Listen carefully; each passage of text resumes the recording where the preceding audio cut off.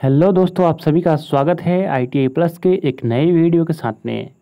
Friends, अगर आप U P I T I में एडमिशन को लेकर के इंतज़ार कर रहे थे तो अब आपका इंतज़ार की घड़ी ख़त्म होती है।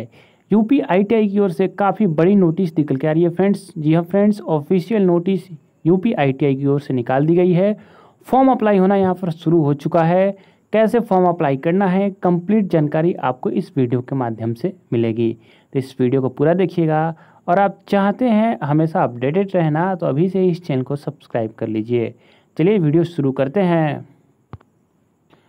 तो फ्रेंड, जैसा कि आप देख सकते हैं, यहाँ पर यू पी आई की ओर से प्रेस विज्ञप्ति निकल के आ रही है, जिसमें बताया गया है कि आपका फॉर्म कब से अप्लाई होगा, कैसे अप्लाई होगा, फ़ी कितना देना है, लास्ट डेट कब तक है, संपूर्ण जानकारी आपको इसमें आपको दिया गया है।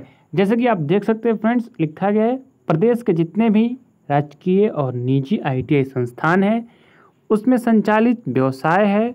उसमें टाटा टेक्नोलॉजी लिमिटेड की सहयोग से एक सौ उनचास राजकीय आईटीआई संस्थानों में संचालित हो रहे 11 दीर्घकालीन व्यवसायों में माह अगस्त 2024 से प्रारंभ होने वाले प्रशिक्षण सत्र सत्र हेतु ऑनलाइन आवेदन करने के लिए वेबसाइट www.scbtup.in को खोलना होगा तथा उस पर बने हुए link online submission for application for admission for session 2024 से 25 for government and private ITI पर क्लिक कर आपको अपना फॉर्म भरना होगा।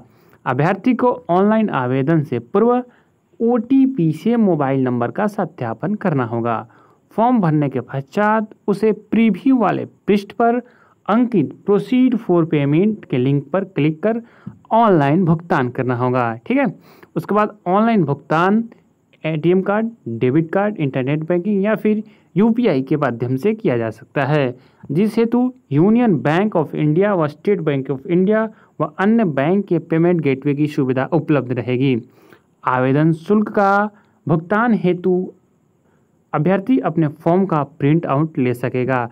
अभ्यर्थी द्वारा ऑनलाइन आवेदन में की गई प्रविष्टियों में अगर कोई त्रुटि हो गई है, उसके लिए आपको संशोधन के लिए दो दिन का समय दिया जाएगा। ऑनलाइन आवेदन में सहायता हेतु विवरणी ई फॉर्म के माध्यम से एस पर उपलब्ध रहेगा। ठीक है, ये सारी जानकारी आपको यहाँ दी गई है। आगे यहाँ पर अगर आपको कोई सहायता चाहिए तो आप जो है अभ्यर्थी विवरणी को पूर्ण रूप से या फिर आवश्यक रूप से अनुसार मतलब जो भी आवश्यकता अनुसार अपना विवरणी भर कर भाग प्रिंट कर सकते हैं या फिर डाउनलोड कर सकते हैं। यदि आवेदन की सुविधा दिनांक